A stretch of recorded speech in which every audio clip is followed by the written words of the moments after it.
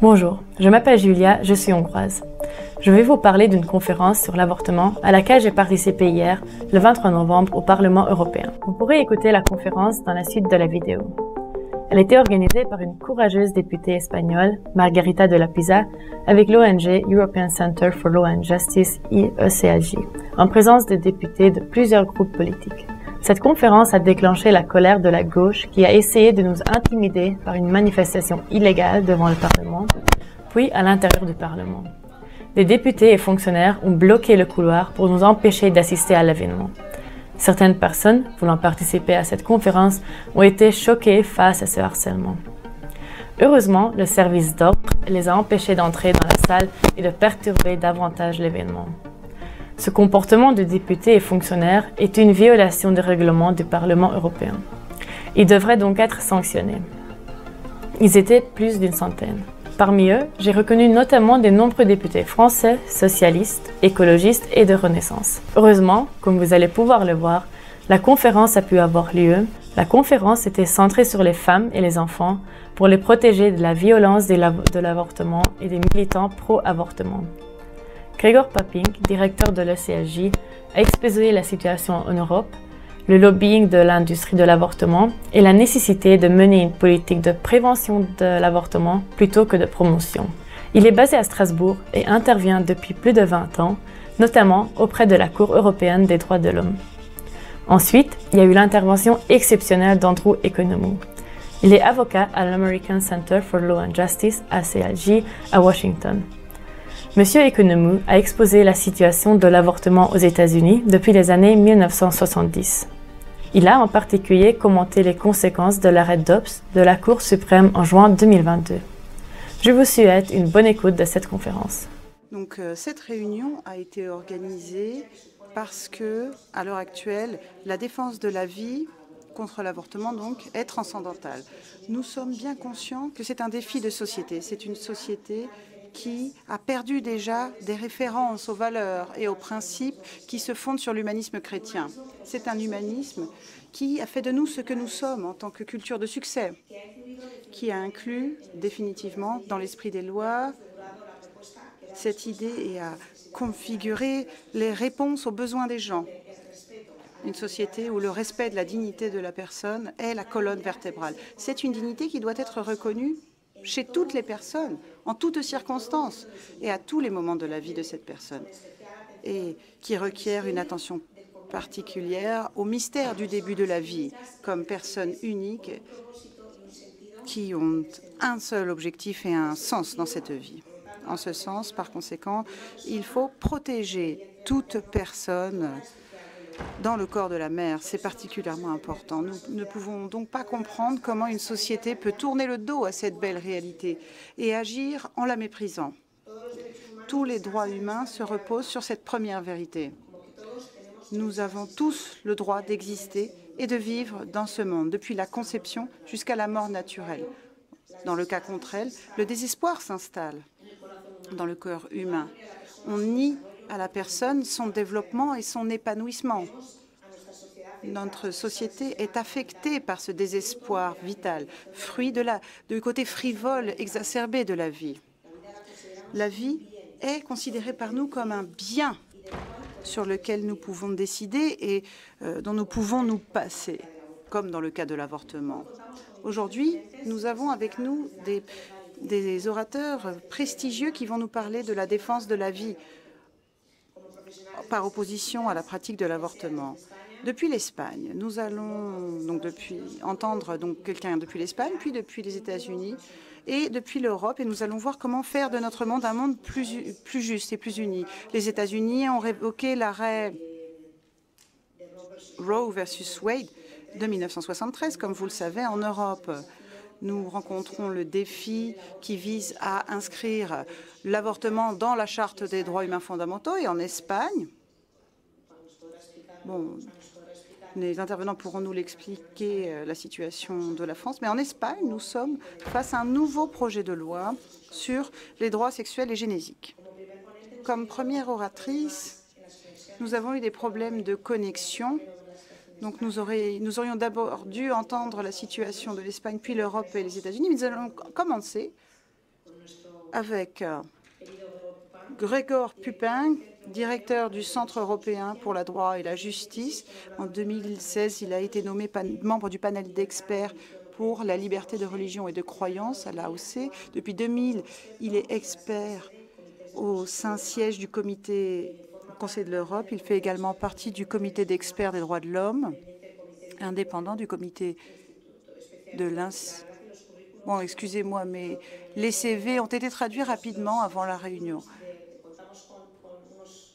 Et nous avons des intervenants extrêmement expérimentés, donc ça prendrait des heures de lire toutes les lignes du, CV, donc je pourrais vous donner les, détails un peu plus tard. Il a écrit plusieurs livres et textes juridiques publiés dans plusieurs langues. Il, a été nommé euh, chevalier de l'ordre de Saint Gregorio Mano, chevalier d'honneur de l'Italie. Il a toujours été un exemple de l'engagement pour la cause des droits de l'homme et en particulier pour la défense de la vie il a toujours été engagé pour avoir eu des lois qui reviennent vers l'idée de l'humanisme chrétien. Donc Grégoire, je vous donne la parole. Dites-nous comment poursuivre à défendre la vie en Europe. Merci. Muchas gracias. Merci beaucoup, euh, Madame de la Pisa. Thank you everyone for, for being here. Je vous remercie. C'est un grand honneur et un plaisir d'être parmi vous de m'exprimer sur cette question ô combien essentielle. Souvent, les défenseurs de l'avortement affirment que les hommes n'ont pas leur mot à dire, que nous devrions nous taire. Je ne suis pas d'accord. Je pense qu'en tant qu'être humain, il m'incombe de m'exprimer et de dire la vérité pour le bien des femmes, des bébés et de la société. L'avortement nous concerne toutes et tous qu'un bébé, c'est un être humain parmi nous. Les hommes et les femmes sont unis inséparablement dans tous les aspects de la vie, et notamment dans l'amour et dans, dans la vie. Hommes et femmes, nous avons la responsabilité morale de répondre à ce problème. Jusqu'à présent, des milliards d'avortements ont été accomplis. Chaque année, il est mis un terme à un tiers des grossesses en Europe. Compte tenu de l'ampleur de ce phénomène, de ses conséquences, l'avortement constitue un problème sociétal et de santé publique auquel doit répondre la société. Il faut dire d'emblée que la principale cause de l'avortement, ce n'est pas la grossesse elle-même, non, c'est le contexte de cette grossesse. Une femme opte pour l'avortement, non pas à cause de la grossesse, qui n'est qu'un facteur déclencheur, mais à cause des circonstances qui entourent cette grossesse. Et la même femme, dans d'autres circonstances, n'aurait pas forcément recours à l'avortement. L'avortement est un résultat de l'alliance de divers facteurs dont la société est en partie responsable. À vrai dire, 75% des femmes qui ont eu recours à l'avortement indiquent qu'on leur a mis la pression, qu'elles ont subi une pression sociale et économique. Cette décision résulte souvent de la coercition qui peut revêtir diverses formes. Il y a les contraintes socio-médicales, des pressions, l'irresponsabilité euh, du père, le manque de responsabilité du père, la pression exercée par la par la famille, notamment lorsqu'il s'agit de mineurs défavorisés. Il y a également la pression de l'employeur, ainsi que la pression matérielle. Cette pression fait euh, entrave la liberté des femmes et des couples. Affirmer comme vérité que l'avortement est une liberté constitue une erreur idéologique. On déracine ainsi la question et en fin de compte, on renforce le sentiment de culpabilité de la femme, puisque cette violence semble résulter de, sa propre volonté, de sa liberté. Si l'avortement est un choix individuel, une liberté, alors c'est la femme qui est pleinement responsable de cela. Et c'est la laisser seule face à la violence, victime et coupable, dans une situation psychologique inextricable. Alors que cette violence est largement générée par le, par le contexte, par les circonstances. Il n'est guère surprenant qu'autant de troubles psychologiques soient provoqués par l'avortement, la dépression, les idées suicidaires chez les jeunes, par exemple. 42% des femmes qui ont eu recours à l'avortement avant l'âge de 25 ont fait des dépressions. La moitié des mineurs qui ont eu recours à un avortement ont des idées suicidaires. Les femmes qui ont eu recours à l'avortement ont trois fois plus de risques euh, d'être victimes de, victimes euh, de violences sexuelles. 90% des femmes françaises reconnaissent que l'avortement laisse des traces, psychologiques avec lesquelles il est difficile de vivre. Et 72% de ces femmes, des femmes pensent que la société devrait en faire plus pour éviter ces avortements. Nous pouvons le constater. L'avortement n'est pas un concept, ce n'est pas une euh, liberté abstraite, c'est une réalité, une réalité sanglante. Et il est absurde de prétendre qu'il s'agit d'un droit humain fondamental. L'avortement ne sera jamais un véritable droit humain, seulement une violation ou une dérogation au droit à la vie, puisqu'il s'agit d'un enfant innocent à naître, qu'il soit potentiel ou non. Pour être simple, si l'avortement était un véritable droit humain, nous procurerait du plaisir et ne causerait pas autant de souffrance. Et nous pourrions euh, être fiers de ces avortements.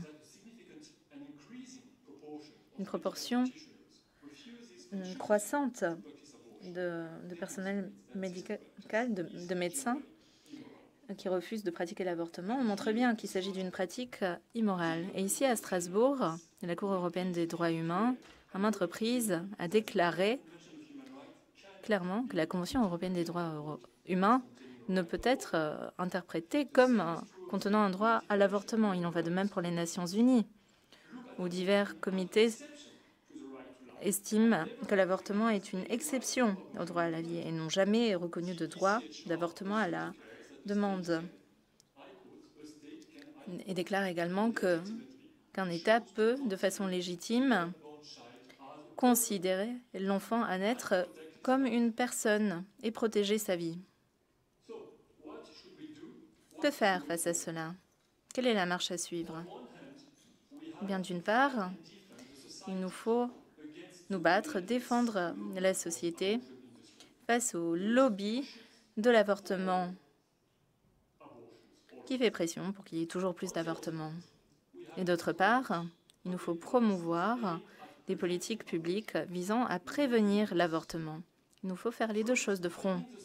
Défendre la société face à l'industrie de l'avortement tout d'abord. L'industrie de l'avortement et son lobby disposent de milliards de dollars et se sont infiltrés dans les institutions internationales, comme ce Parlement, ou bien les Nations Unies euh, et d'autres organisations. Ces lobbies et cette industrie financent massivement euh, la division de l'OMS en charge du contrôle de la population et, ont financé euh, également divers experts des Nations Unies qui les emploient. Un professionnel décrit l'avortement comme un acte radical d'amour-propre. Et cette personne a été nommée à un poste euh, de haut niveau aux Nations Unies à cause de son engagement pour l'avortement. Le programme de cette industrie de l'avortement est très simple. Pratiquer toujours plus d'avortements et disposer de davantage de fonds publics. Toujours plus. Un avortement sans limite. Ils font pression de toutes parts, à toute heure, même dans, un contexte d'hôpital. Il faut garder à l'esprit qu'il y a des fonds qui sont reçus pour chaque avortement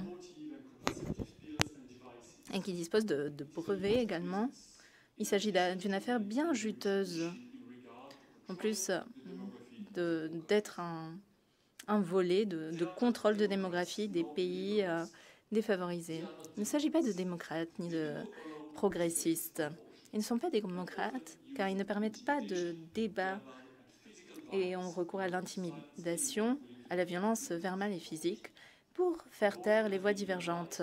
L'avortement a été légalisé dans bien des pays, non pas par le biais des parlements, mais à travers l'activisme judiciaire contre la volonté de la majorité de la population. Voilà pourquoi la Cour, euh, l'arrêt euh, révoqué de la Cour suprême des États-Unis est une excellente chose. Les défenseurs de l'avortement ne sont pas non plus des progressistes, des libéraux. Ils veulent priver les, les médecins de leur liberté de conscience, les parents les priver de leurs droits et responsabilités. Ils entravent la liberté d'expression. Ils entament également des procédures judiciaires soutenant des avortements eugéniques et soutiennent l'enfanticide néonatal. Ils sont non seulement contre la vie, mais également contre les libertés. Il ne s'agit ni de démocrates ni de progressistes, car ils savent que l'avortement à la demande est immoral intrinsèquement, et c'est indéfendable. Voilà pourquoi ils souhaitent en faire un dogme à travers l'inscription dans la Charte européenne et les constitutions nationales. Cependant, cela ne changera pas la réalité des choses. Il s'agit uniquement de positivisme juridique.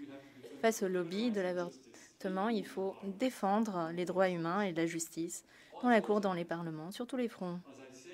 Par ailleurs, comme je l'ai dit, il faut promouvoir des, des euh, politiques publiques visant à prévenir l'avortement. Il faut bien comprendre que l'avortement n'est pas une fatalité. Plusieurs pays sont parvenus à réduire le, recours à l'avortement par le biais de politiques de prévention. Par exemple, en Italie, le nombre d'avortements a chuté de plus de 50% au cours euh, des 30 dernières années. Et on est à 100 000 avortements par an, soit la moitié de ce que l'on a en France. Les grossesses euh, des mineurs entre 90 et 2010 ont été divisées par deux aux États-Unis. Et il en va de même pour d'autres pays. Actuellement, les euh, politiques pro-vie et sociales mises en œuvre en, Hongrie montrent également que c'est possible au cours des cinq premières années de mise en œuvre. Donc entre 2010 et 2015, en Hongrie, le nombre d'avortements a chuté de 23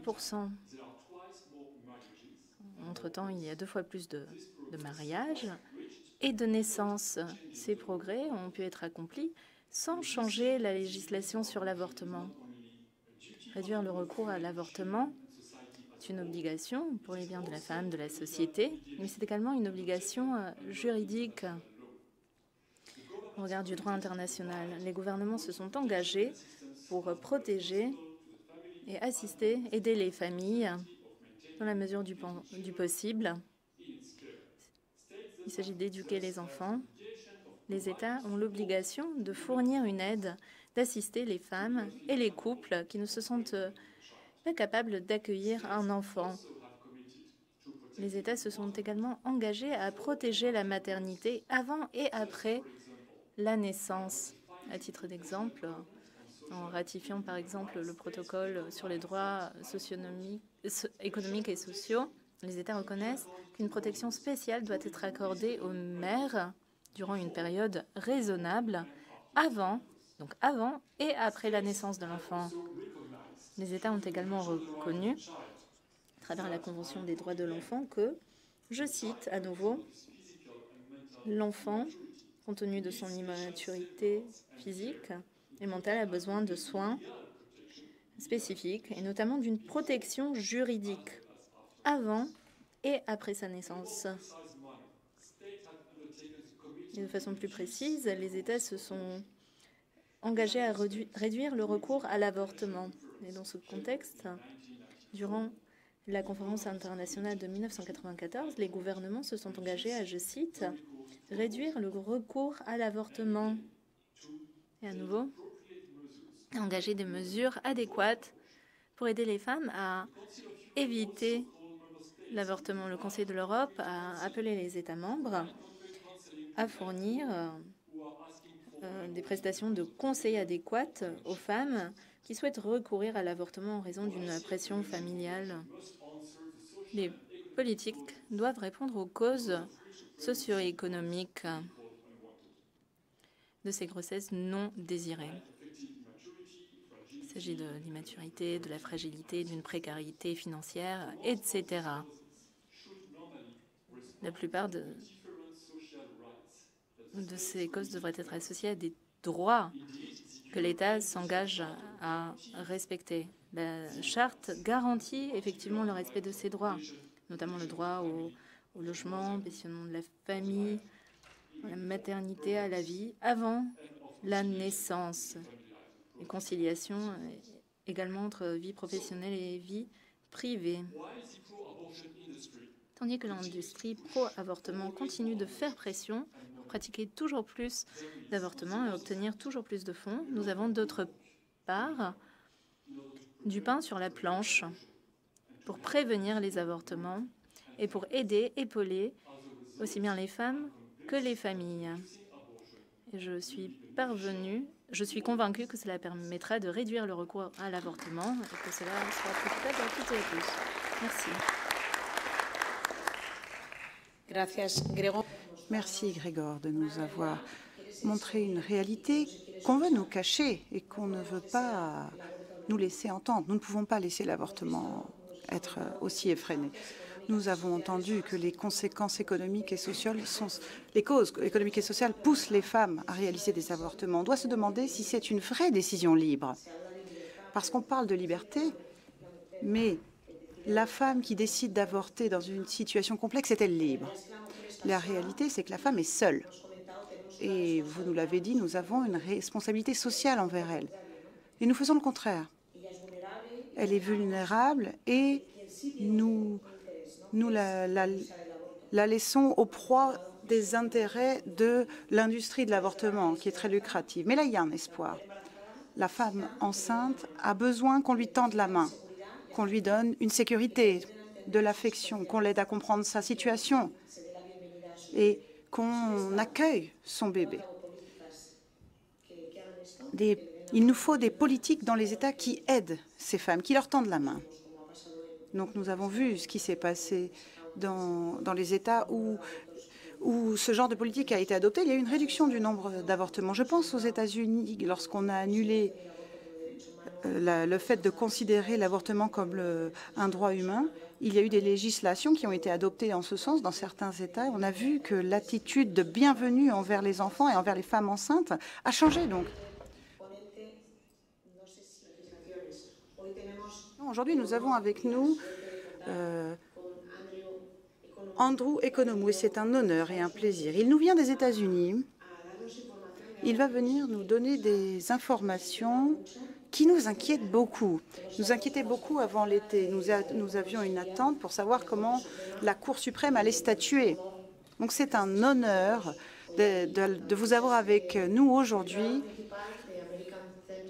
Donc il est l'avocat principal de l'American Center for Law and Justice et sa carrière juridique a débuté il y a 45 ans. Il est co-auteur d'un écrit pour la Cour suprême sur euh, l'affaire Dobbs versus Jackson Women's Organization. Il a été euh, avocat adjoint lors de la campagne euh, des Républicains en 1975. Il a travaillé au bureau du prosécuteur de la Géorgie, puis prosécuteur général au ministère de la Justice. Récemment, il a été avocat adjoint au bureau du procureur de Géorgie, encore une fois. Donc, il est professeur universitaire spécialiste de l'histoire byzantine et il apparaît régulièrement comme collaborateur au programme quotidien de l'American Center for Law and Justice, CQ Life. Donc, c'est quelqu'un qui a été qui a été depuis longtemps impliqué dans la défense de la vie aux États-Unis. Sa carrière professionnelle, y compris dans l'administration publique, nous montre l'élan qu'il a donné, sa passion pour cette cause. C'est une personne qui a toujours défendu vaillamment et courageusement des valeurs qui représentent la base d'une société meilleure pour défendre la vie. Donc ce sera un plaisir de vous entendre et de savoir quelle, est la situation aux États-Unis. Cela pourrait nous aider en Europe à trouver la voie pour revenir en arrière sur cette idée que l'avortement serait un droit. Merci. Mesdames et messieurs, les États-Unis ont depuis longtemps été en dehors de la norme dans la communauté internationale sur la question de l'avortement. Jusqu'à récemment, les États-Unis étaient l'un des rares pays qui permettaient l'avortement pour toute raison au-delà des 15 semaines de gestation jusqu'à la naissance. Cet avortement tout à fait libre était dû à l'arrêt de 73 de la Cour suprême Roe versus Wade, qui a fabriqué de manière judiciaire un droit à l'avortement qui, en théorie, émanait du système juridique et de la loi. Mais ce droit fabriqué avait été partiellement confirmé en 1992 par, dans, par le cas VPB. En 2022, toutefois, la Cour suprême américaine a corrigé sa mauvaise interprétation précédente de la Constitution américaine et a statué dans le cas de Dobbs contre Jackson's Women's Organization, cas emblématique. Cela a permis de renverser Roe versus Wade et le deuxième cas de 92. L'affaire Dobbs a vu euh, statuer la Cour qui disait que la Constitution des États-Unis en effet, ne confère pas un droit à l'avortement. Les, effets de cette décision ont été multiples. Contrairement à la mythologie populaire, le fait que la décision de Roe versus Wade ait été renversée euh, n'a pas mené à une, à une interdiction générale de l'avortement. Non, la Cour a dit qu'elle n'était pas compétente pour statuer sur l'avortement. Donc, elle a remis cela aux mains des cours des États qui devaient décider si et dans quelles conditions l'avortement devrait être permis au sein des États. Par conséquent, chaque État est maintenant libre de légiférer sur la question comme les électeurs de cet État l'estiment judicieux. Donc l'avortement est décrit aux États-Unis comme un patchwork tout à fait diversifié. En effet, le patchwork des 50 États sur les lois de l'avortement deviendra encore plus fragmenté à l'avenir. Certains États ont une approche très progressiste, consacrant le droit à l'avortement dans les lois de l'État, qui, va bien au-delà des, des, lois qui existaient dans le cadre de Roe et Planned Parenthood versus Case. Dans le cas de Dobbs, la Californie est devenue l'un des États les plus pro-avortement de la nation. Elle a adopté une loi qui, dans les faits, dépénalise certaines, formes d'infanticide en restreignant les enquêtes criminelles et pénales dans la mort de fœtus pendant la période prénatale, de la, période donc qui va de 28 jusqu'à 28 jours avant la naissance. Un cas récent, il y a eu énormément de demandes pour voir comment s'est passée la procédure pour adopter cette loi. D'autres États, comme le Colorado, ont adopté une loi qui déclare l'avortement comme un droit fondamental. D'autres citoyens en Californie, au Michigan, dans l'Oregon et dans le Vermont ont voté récemment sur la possibilité d'amender leur constitution des États respectifs pour créer un droit à l'avortement. La Californie, le Michigan et le Vermont ont voté oui pour amender leur constitution pour consacrer un droit à l'avortement. Le Montana, les électeurs du Montana ont voté contre les protections Born Alive qui fourniraient une protection pour des enfants qui, résisteraient et qui survivraient pendant un avortement. Donc, Certains États ont voulu se prononcer pour la vie en créant des restrictions à l'avortement. Trois États sont dans ce cas, l'Alabama, l'Arizona et la Louisiane, ont des amendements constitutionnels maintenant pour protéger la vie prénatale. Le Tennessee et la Virginie occidentale ont, eux, amendé leur constitution pour dire qu'il n'y a aucun droit à l'avortement dans leur État. 15 États environ souhaitent appliquer de facto des restrictions à l'avortement. Aucun État n'a pour l'instant interdit complètement l'avortement, mais de nombreux États ont des restrictions assez fortes et nous pouvons croire que davantage d'États vont aller dans le sens de la protection de la vie avant la naissance.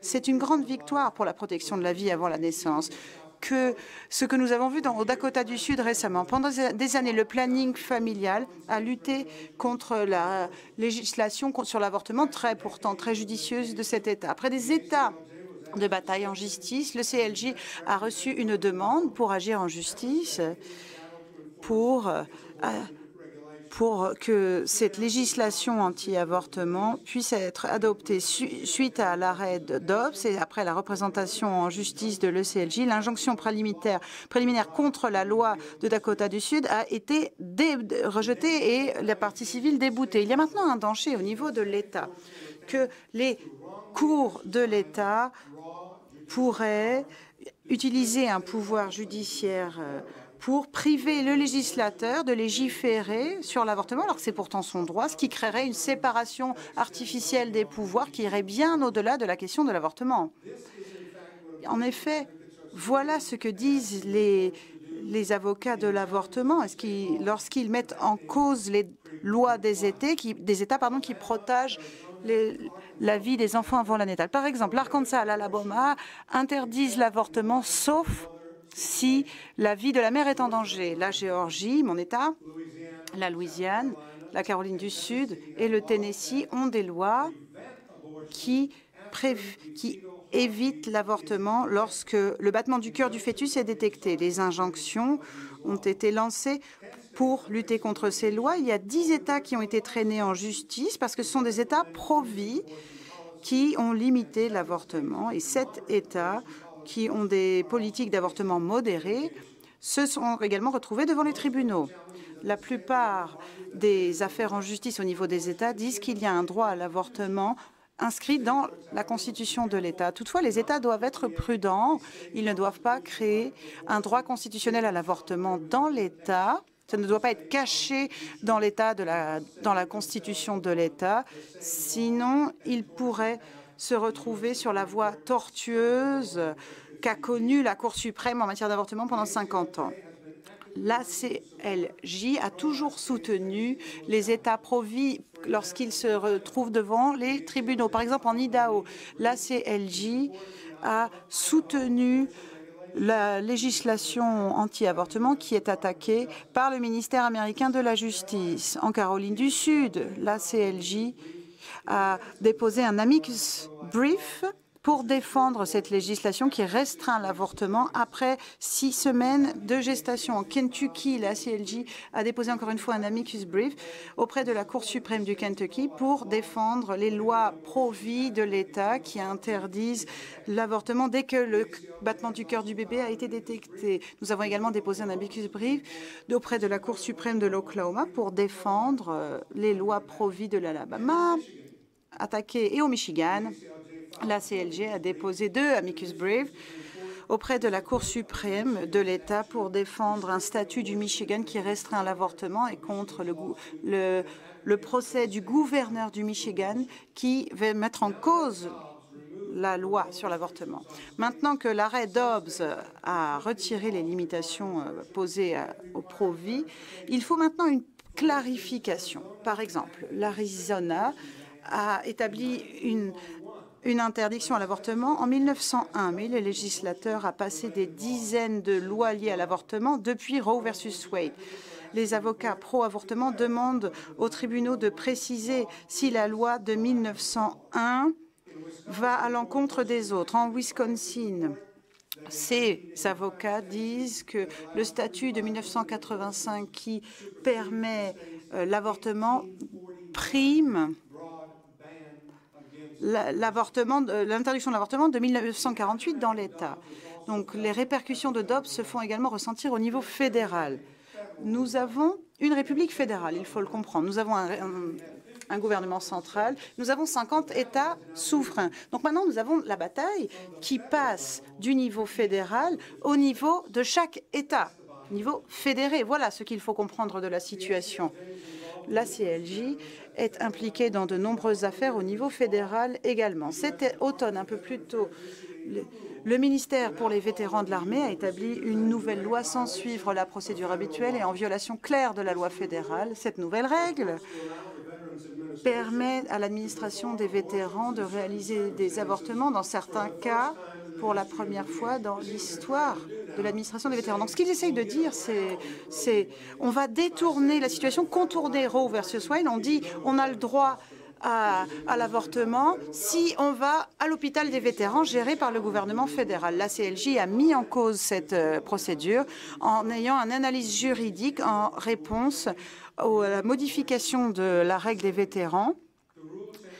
Ce changement de règle viole la loi fédérale de longue date qui interdit le service des vétérans de mener des avortements le personnel militaire au niveau fédéral pourra estimer que son droit d'objection de conscience est violé.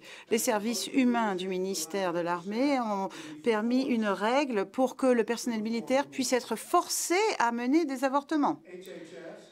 HHS, les services de santé, estiment qu'ils peuvent refuser de mener des avortements, mais ça, ce serait interdit par la loi. Ce serait une discrimination de genre. Mais la Cour suprême a rejeté cet argument et a affirmé que l'opposition à l'avortement n'est pas un, élan discriminatoire et vicieux contre les femmes. Ça a été affirmé dans l'arrêt Dobbs. La CLJ représente actuellement deux clients auprès de tribunaux fédéraux sur les zones tampons les zones tampons interdisent les conseils en dehors de, des affaires liées à l'avortement. La CLJ estime que ce serait un précédent clé qui irait à l'encontre des droits des, des, clients de la CLJ. Nous avons le cas de deux clients de la CLJ.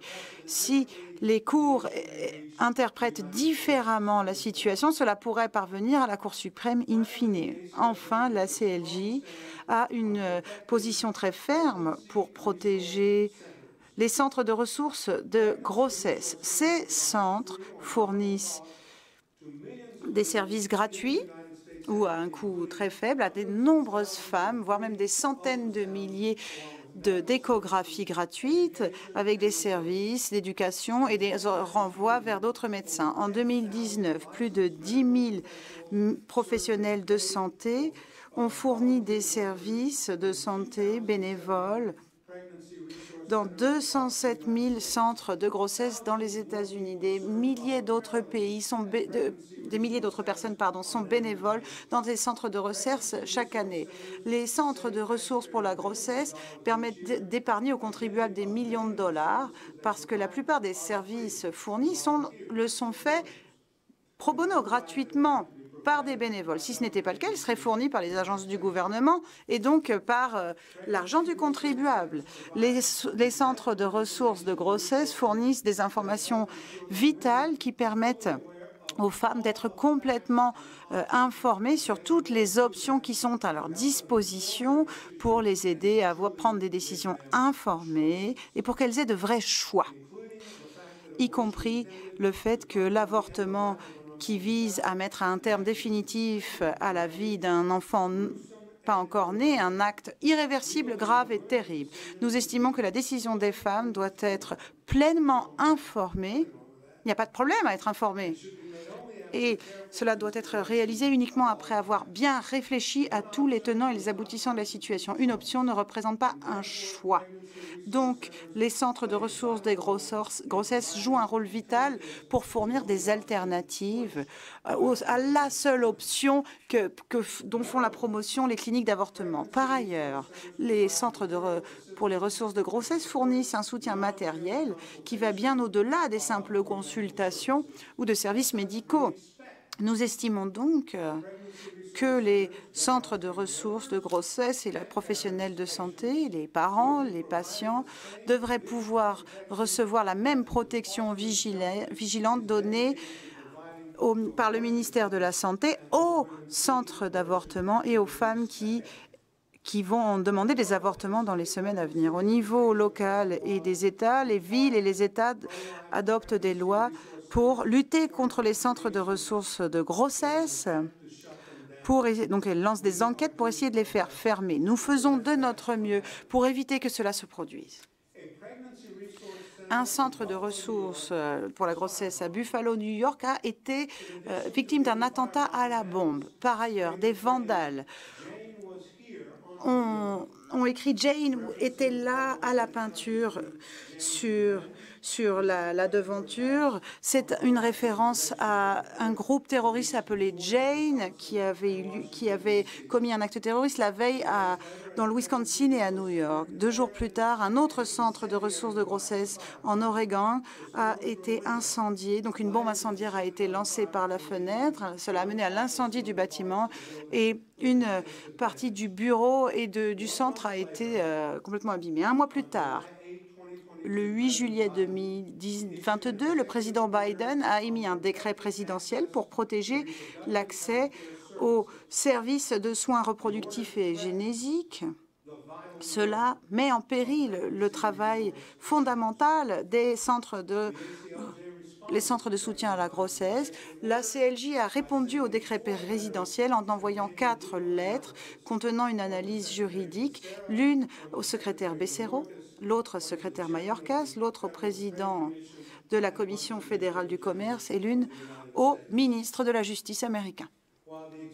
Alors que le décret présidentiel est très inquiétant, d'autres parties du décret demandent aux services fédéraux de détecter les pratiques frauduleuses liées aux services génésiques, y compris en ligne, et de protéger l'accès à une information ah, précise. Jamais il n'est fait référence à la violence. Je viens pourtant de vous parler de la violence. Il n'y a aucune mention faite à cette violence. Cette violence n'a jamais été condamnée par le président Biden ou par son gouvernement. Et ils ont ignoré ces actes de violence. Et ce faisant, le gouvernement Biden semble être en train de, de créer son propre discours dangereux disant que la violence pro-avortement n'existe pas. Au lieu d'apaiser les différends, les fonctionnaires ne font que jeter de l'huile sur le feu. Le 17 juin de cette année, les membres pro-avortement du Congrès ont envoyé une lettre au PDG de Google. Dans cette lettre, les membres du Congrès ont fait référence aux crises de ces centres de ressources pour la grossesse, disant que ce sont de fausses cliniques.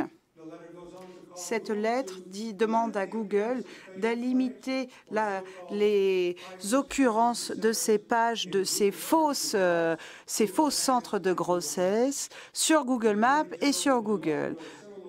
Le procureur de New York a écrit ce genre de lettre également à Google. Voilà seulement quelques exemples des attaques dont sont victimes les centres de ressources de grossesse aux États-Unis. La CLJ travaille activement avec ces centres dans tout le pays pour pouvoir défendre leurs droits et lutter contre ces attaques. Pour conclure, j'arrive à la fin, j'arrive à la fin. L'avortement est une question qui, divise profondément les États-Unis. Vous le savez, l'arrêt de la Cour suprême de Dobbs a fait entrer les États-Unis dans une nouvelle ère. Seul le temps nous dira si les États-Unis vont continuer à rester dans cet état étrange au niveau international où nous sommes l'un des pays les pires, les plus barbares pour les fœtus non nés, ou si nous allons devenir un champion de la vie les bébés sont les plus marginalisés et les plus innocents que nous pouvons connaître. Cette nouvelle ère verra la CLJ non pas continuer à simplement travailler comme il l'a fait depuis sa création, donc à lutter pour la vie innocente. Nous allons renforcer nos efforts. Il est indubitable pour nous que de lutter pour la cause de la prénatalité est le terreau de la lutte contre l'injustice. Merci à tous.